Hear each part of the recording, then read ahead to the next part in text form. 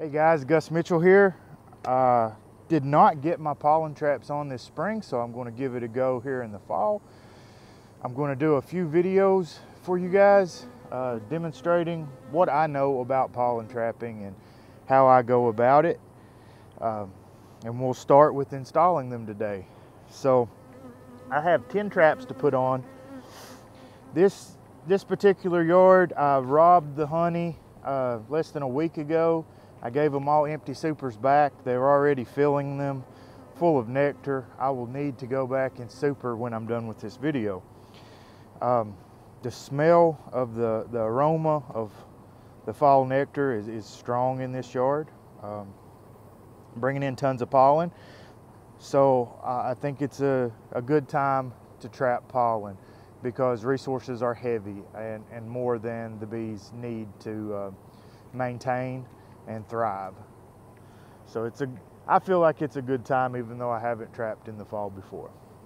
I use these bottom, bottom, uh, I don't know if you call them bottom board style, but they're a, a bottom pollen trap. Uh, some pollen traps you place on the top, these are for the bottom. I've removed the bottom board and I have this trap in the off position. So this stick here the stick is your on and off switch. And you use these nails. This is an old style trap, by the way. So right now it's in the off position and the bees can come and go. And when you put a trap on, you don't want to have it to where they have to go through the trap. You want the trap turned off when you first install it so that these bees can get used to it. Now their bottom board wasn't far off, so they don't have a whole lot to do to transition here. So I'll leave this on a day and I'm going to let them get used to using their bottom board entrance like this. And then I will simply pull the nails and reverse them. And they'll move up and they'll block the bottom board entrance. And then the bees will be forced to go through the trap. And as they go through the trap, their pollen baskets will get raked along this uh, number five hardware cloth. And it'll knock most of it off.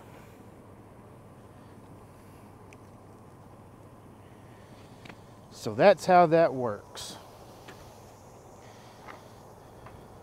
As you can maybe you can see a little better here but this will go in and the hive will sit there and it'll block it. And now they'll they're already used to coming in here so it's nothing for them to transition and they'll go through the hive the pollen trap here.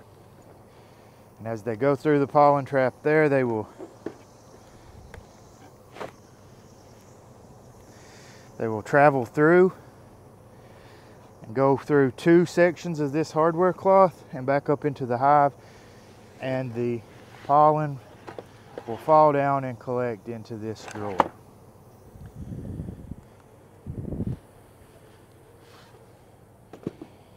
So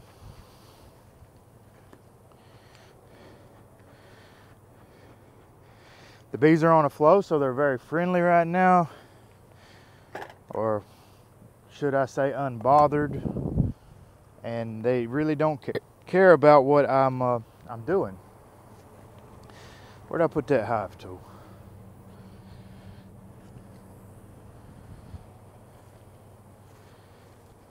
I broke the rules, guys. You're supposed to either have your hive tool in your pocket or your hand.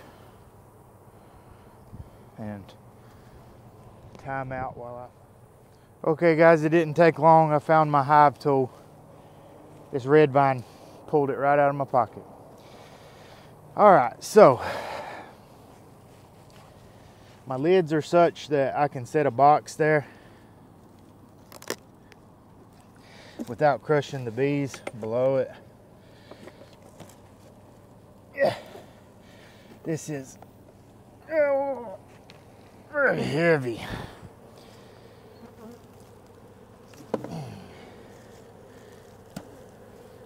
Dump the bees at the front.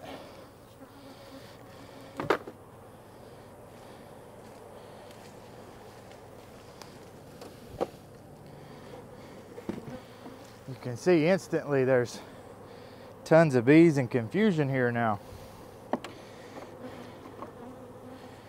So we will, we'll get them set up here really shortly and they won't have to worry about it.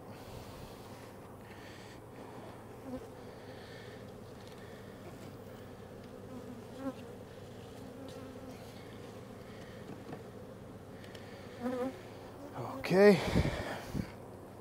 Yeah.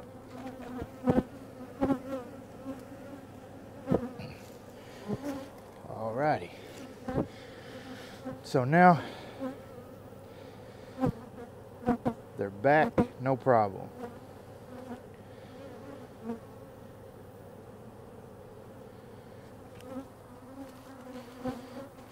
I'll bring you guys in a little closer here.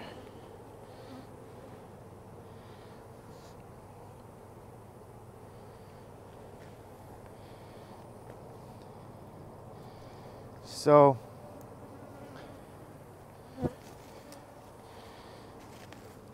the large hives, the very busy hives, I'll bring, uh, I'll put pollen traps on and I will give them about a day. This is the closest yard to my shop. So uh, I do that because it you have to empty your pollen traps frequently. With the humidity and things that we have here, uh, it'll mold like in a couple days really. So at least every other day you need to be emptying your pollen traps, if not every day, if, if it's convenient enough. Uh, when I do that, I come by with a bucket and I empty them into the bucket and then put the bucket into the freezer. Um, I freeze it and then that's after that point, once I collect enough of it, that's when I start the cleaning process, which is uh, quite labor intensive and will require a video in itself. But tomorrow I'll come back when I when I come into work I'll stop off here and I'll switch these traps on because at that point the bees will be acclimated to these um, entrances and the positions of them and it'll be no problem. Uh, I'll run them about probably about two days, three days. If you can get on a two-day schedule and you see it's not affecting your pollen, or a three-day schedule, depending you know on the weather, of course. If it's raining, uh, that won't work. But uh, once I get on that schedule of collecting the pollen, I'll switch on the hives and, and some off. Like if there's 10 here, I'll run five on and then I'll switch those that were on off so that the bees can get all the pollen that they need. Uh, and I'll switch the other ones back on and just kind of rotate them that way. That way I'm, I'm keeping everything healthy. So that's the plan here. And uh, hopefully we'll get some really beautiful uh, multicolor pollen that'll sell really well for us and uh, it'll work out great. So if you have any questions for me about what you've seen in this this section, uh, let me know in the comments and I'll address that for you. Otherwise, uh, as I continue on with this project, I'll uh, I'll put out some videos. Some of them may be longer, some may be uh, shorter, but I'm to carry y'all along with me on this one. So, with that, I'm to get the rest of these uh, these traps on, super these bees up, and I'll catch you guys later.